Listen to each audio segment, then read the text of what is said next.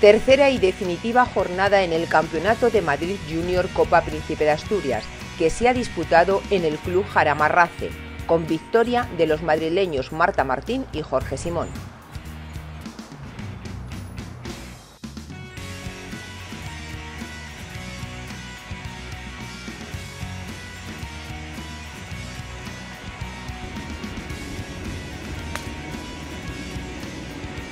La primera en subir al podio fue precisamente Marta, la jugadora de Cetema supo aprovechar sus oportunidades para reparar el resultado del miércoles, cuando cedía el liderato ante Paula Zabarte. Una vuelta de 68 golpes y los 74 de Paula bastaron para que Martín se hiciera con el trofeo con cuatro golpes de ventaja sobre la segunda clasificada. Pues soy bastante bien en comparación con ayer.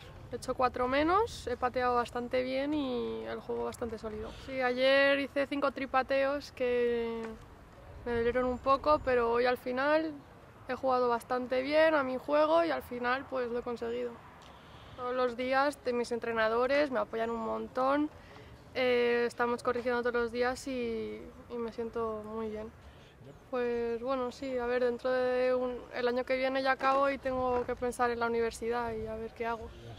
La verdad es que Estados Unidos tiene que ser una muy buena oportunidad, la verdad.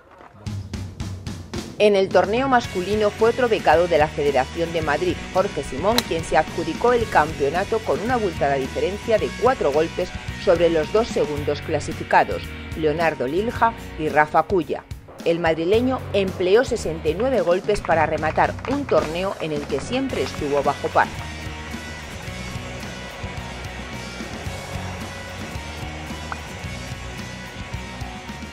No, lo llevo diciendo todo el torneo, que da gusto que, haya venido gente de fuera a jugarlo, sobre todo gente de tan buena calidad, que al fin y al cabo hacen más grande este torneo y que a nosotros nos guste jugarlo porque al fin y al cabo te gusta, te gusta ganar a la gente buena.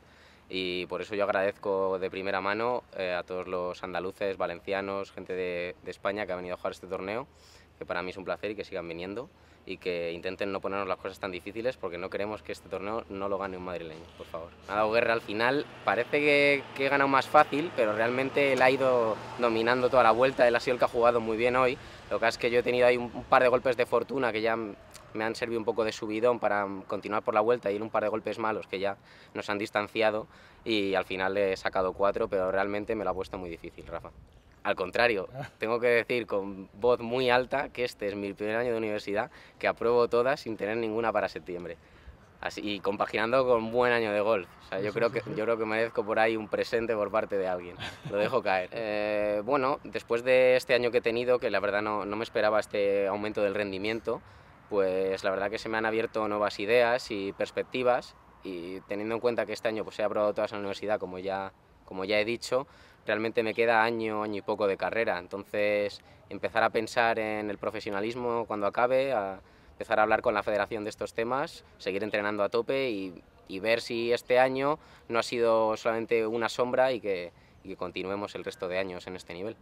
Yo, bueno, con, yo ya lo digo siempre que puedo, gracias a estos programas que están empezando a salir por parte de la Federación Española y en mi caso por parte de la Federación Madrileña, eh, nos, dan opción a no tener que irnos a Estados Unidos, que parecía que era la, única alternativa real para compaginar deportes y estudios. Entonces yo mm, para nada critico la opción de Estados Unidos porque me parece una opción totalmente respetable, además de que es otro país, aprendes otro idioma, pero hay que tener en cuenta que se están haciendo bien las cosas en España y que tenemos un sistema educativo muy bueno. Si lo conseguimos compaginar bien con el deporte y que, y que nos acepten como deportistas, es una muy buena opción quedarse en España para estudiar.